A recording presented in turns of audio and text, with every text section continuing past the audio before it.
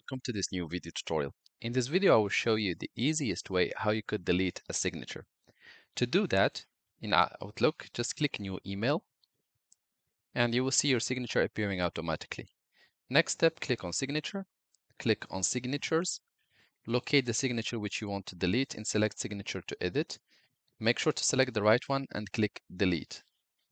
Once you click Delete, click Yes, click OK, close your email, close Outlook and reopen it again.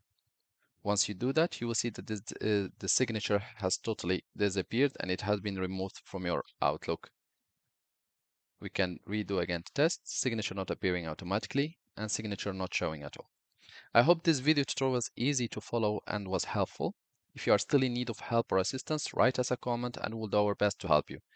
If you would like to encourage us to make more video tutorials, you can always press like and share. And do not forget to subscribe to get our latest videos. Thank you for watching and talk to you soon in a new video.